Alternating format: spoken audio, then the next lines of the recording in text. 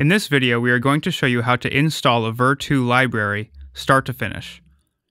Once you have your RAR files downloaded, you will need to open them up. We are doing this on a Mac computer, so we'll use UnRARX to perform the operation. If you're on a PC, we recommend an app like WinRAR for this step. Depending on what instrument you've purchased, there will be anywhere from 1 to 10 RAR files to download. For this example, we'll be using Apollo Cinematic Guitars, which has 8 RAR files. Before beginning, you will want to have all parts downloaded and sitting in the same location. Here, we have them on the desktop. The extraction will not work properly if all files are not downloaded and together. Launch your extraction app and add the Part 1 RAR file to begin. You will not need to add any additional parts because the app recognizes the other RAR files present and will cascade open all of them into a single folder automatically. You can see here that we have selected Extract to File Directory, which simply means that the extracted folder will show up in the same location as the RAR files.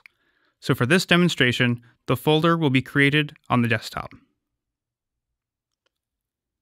You will need to wait for the extraction to finish completely. If your purchase has many RAR files, it may take a few minutes to complete. In UnRARX, we know when the extraction is done because the words All OK appear at the bottom of the window. Close your extraction app. Many musicians and producers like to hold their libraries on a dedicated sample drive. We recommend keeping your library somewhere easily accessible, so here we'll put Apollo on an external hard drive. This may take a few seconds to move.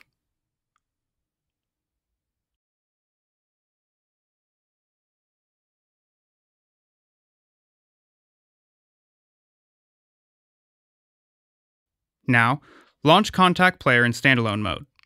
Some Vir2 instruments ship with an older version of the Kontakt Player, but all can be run in the latest version as well, which you can find on Native Instruments website. If you own a full licensed version of Kontakt, the following process will be identical.